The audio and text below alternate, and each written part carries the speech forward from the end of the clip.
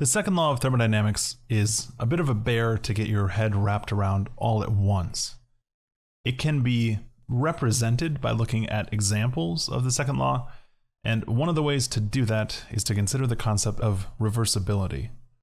And the flawed analogy I like to use to think about effects of reversibility and irreversibility is to consider the conversion of energy from potential energy to kinetic energy. If you consider a ball on the top of a valley, and we said that the ball had 5 kilojoules of potential energy relative to the bottom of the valley, and we let it roll down the hill, then when it reaches the bottom, it has converted all of its potential energy to kinetic energy. So we could say its kinetic energy at that point is 5 kilojoules. Or that its kinetic energy has increased by 5 kilojoules. Then, as it rolls back up the hill, it is converting kinetic energy back into potential energy. And theoretically, if everything were perfect, we would end up back where we started with a potential energy of 5 kilojoules. So if this were perfect, it would become a situation that could happen in either direction. It would be reversible. We're converting 5 kilojoules of potential energy to 5 kilojoules of kinetic energy and back, and losing nothing in the process. Now, of course, in reality, the presence of friction is going to represent an irreversibility. We are losing some of the energy. We might end up with a kinetic energy at the bottom of the hill of 4.5 kilojoules, which means that we might end the process with only 4 kilojoules of potential energy. So the process of converting from potential to kinetic and back may incur some losses, and those losses represent irreversibilities. So for our purposes, a perfect process is reversible, and the presence of irreversibility represents losses. That leads us to our first definition. A reversible process is a process that can be reversed without leaving any trace on its surroundings. And then an irreversible process is a process that is not reversible.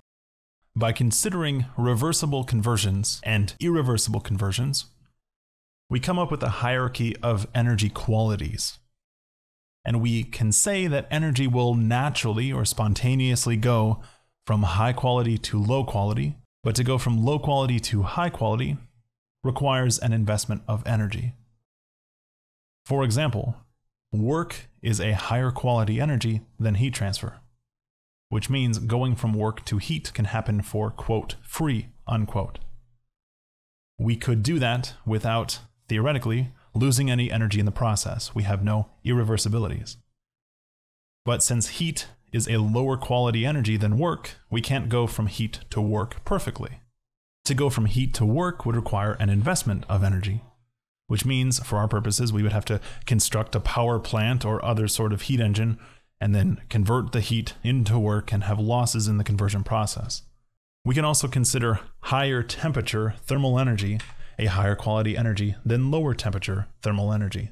That means that heat will be naturally driven from a high temperature to a low temperature. Going from a low temperature to higher temperature wouldn't violate the first law of thermodynamics, but it would violate the second law energy has a quality in addition to a magnitude. For convenience, we can also break reversibility into internal and external reversibility. That's whether or not the irreversibilities are happening within our system boundaries or not. And that allows us to simplify our problem as much as possible.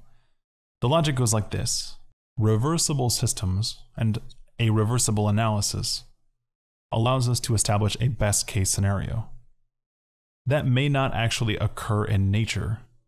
So you may think that it has no value, but by understanding what the best case scenario is, we can relate performance. And by understanding where we are losing energy, we can try to optimize whatever process it is that we're working on. As engineers, your goal isn't necessarily to produce a perfect process, but to try to come up with a cost benefit analysis for reducing losses. To do so requires understanding where the losses are occurring, which requires that you compare your analysis to the theoretical maximum.